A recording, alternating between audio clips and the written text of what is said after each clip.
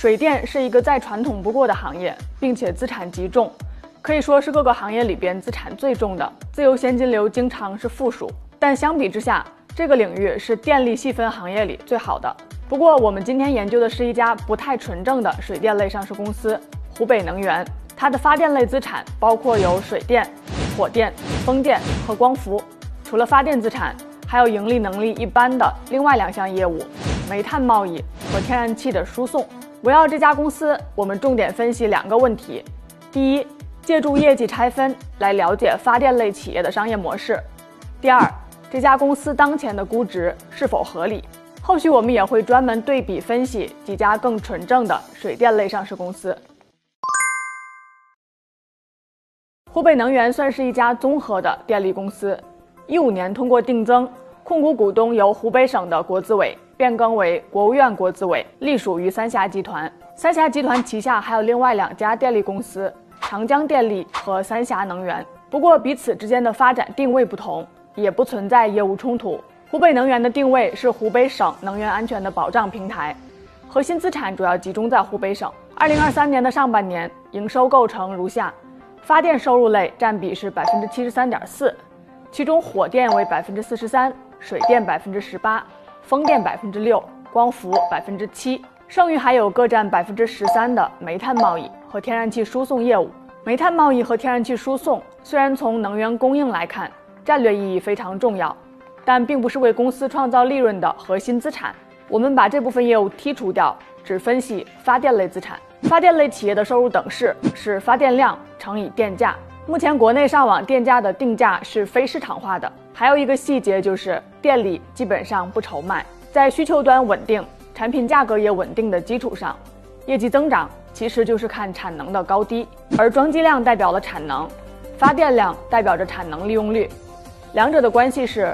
发电量等于装机量乘以发电设备的平均利用小时数，所以一家发电类企业想要提升业绩，只有一个方法：建电站或者是收购电站。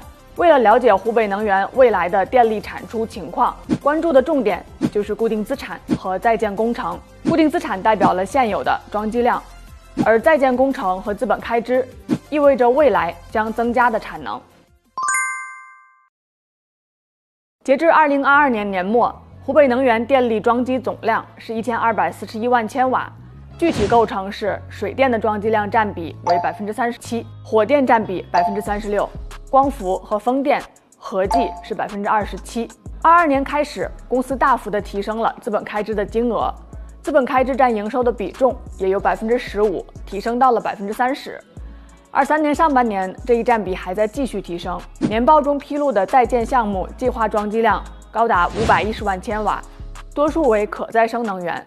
粗算下来，至少未来的两到三年内，装机量的增幅有百分之六十五。而更远期的核准项目计划装机容量也高达五百一十六万千瓦。所以可以确定的是，湖北能源未来的电力产出增长主要来源于光伏和风电。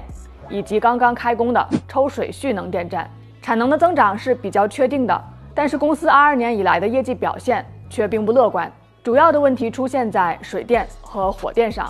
湖北能源的水电资产主要集中在清江流域，是长江流域的支流。二二年以来，清江流域汛期持续高温干旱，来水严重偏枯，导致了水电的发电量减少。对比长江干流的三峡电站。发电量的走势与湖北能源也基本一致，所以水电的收入和利润同比增速在二二年和二三年的上半年都显著下滑，主要原因是天气原因导致的来水量减少。火电收入在二一年以来维持稳定的增长，但是净利润却连续两年亏损。公司的火电包括有燃煤发电和天然气发电，以燃煤发电为主，火电的成本是各种发电方式当中最高的一项。其中的大头是煤炭采购成本，占比高达百分之八十五。二一年和二二年煤炭的价格高居不下，导致了公司的火电收入维持稳定增长，但是利润大幅下滑。电厂应对煤炭价格上涨的主要方式是获取长协的煤资源。为了争取长协煤资源，湖北能源以股权合作等多种方式，争取了中煤集团、陕煤等重点煤企的长协资源。二零二三年上半年。公司长协煤的占比已经由二零年的百分之三十五提升到了百分之八十四。但即便如此，也只能稍微缓解成本的压力。与其他发电方式相比，火电的成本依然是最高的，业绩的增长还是要依靠水电和新能源发电。与火电相比，水电成本的优势非常突出。水电的主要成本就是前期的建设和后期的折旧，大致占到总成本的百分之五十。通常水电站发电机组使用的寿命一般为四十到五十年，大坝的使用寿命可以达五十到一百五十年，远远大于折旧寿命。随着电站折旧逐渐计提完毕。水电业务的利润也会稳步提升。对比湖北能源的单位火电成本和水电成本的构成，水电成本只有火电的一半左右。水电与其他发电方式比较，最明显的优势就在于发电量稳定，单位成本低。接下来我们看公司的估值，保守起见，我们忽略掉起到能源安全保障作用的煤炭贸易业务和天然气输送业务。